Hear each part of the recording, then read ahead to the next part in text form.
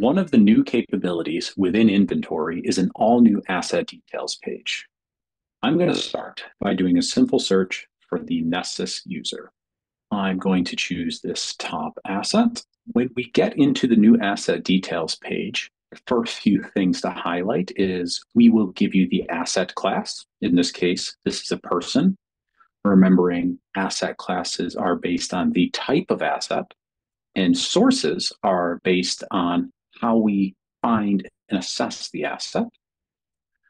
A big new feature here is AI or asset explainability. This leverages AI to understand the asset and the critical weaknesses and summarize both for a quick and easy way to understand the asset without having to dive into all the menus.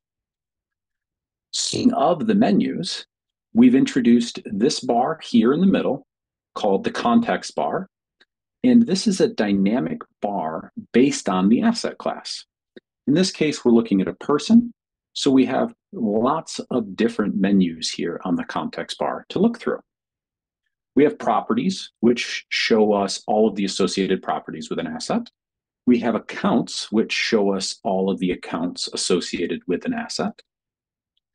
We have things like devices that show us all of the devices associated with an asset, tags, attack paths that are all associated with an asset. We have weaknesses for the first time, all associated with this asset.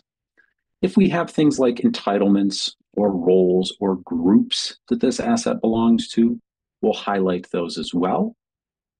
Access will show us the permissions associated with an asset. Relationships will allow us to understand all of the assets connections. And exposure cards will show us all of the different exposure cards in Lumin Exposure View that this asset is a part of. This is a little bit about the new asset details page, focusing primarily on asset explainability, leveraging AI in the brand new dynamic context bar.